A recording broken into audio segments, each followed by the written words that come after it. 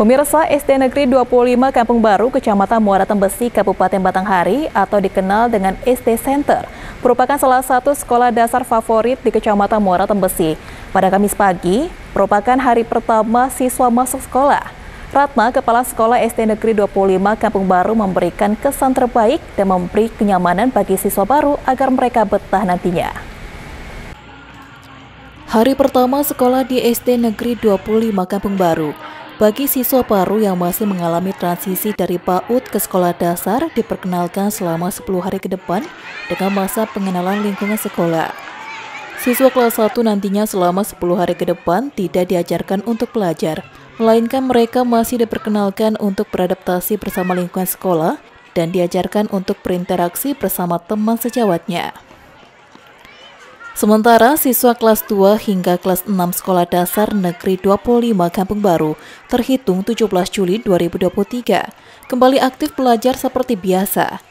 Masa adaptasi siswa hanya tiga hari terhitung Kamis saat ini.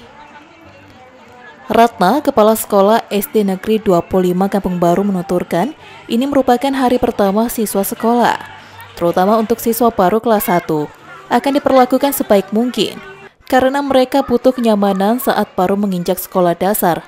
10 hari ke depan, siswa kelas 1 akan diperkenalkan untuk mengenal lingkungan sekolah dan teman-teman mereka melalui guru kelasnya.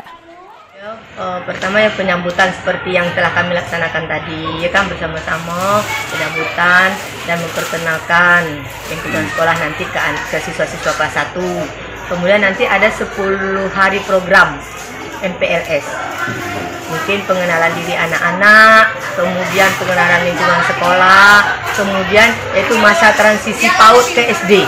Itu usaha membuat uh, siswa kelas 1 ini lebih baik, lebih menyenangkan ya. Kami akan memberikan uh, fasilitas atau uh, pelayanan yang terbaik supaya siswa-siswa kelas 1 ini betah bisa menyenangkan di belajar di sekolah SD Negeri 251 Kampung Baru.